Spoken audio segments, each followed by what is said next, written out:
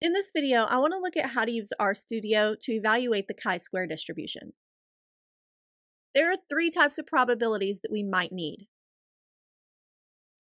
For our purposes, let's suppose that our value for r for our chi-square, our number de of degrees of freedom, is 4. The command we're going to want to use is p chi sq. And we have two numbers. First is the value of x, and the next is r.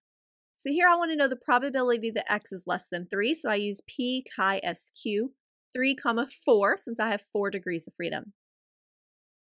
And if I run this, I can see my probability 0.4421746. So this is my first type of probability. The second type, if I want to know the probability that x is between 3 and 6, then I would do the p chi sq of 6 comma 4, since 4 is my value of r, minus p chi sq of 3 comma 4. So we do the big one minus the little one. And we can see if we run that, our probability is 0.3586771. The last type of probability, 1 minus p chi sq of 5 comma 4. So this would be the probability that x is greater than 5. This command always gives me the probability of less than, so if I want the probability of greater than, I need to do 1 minus.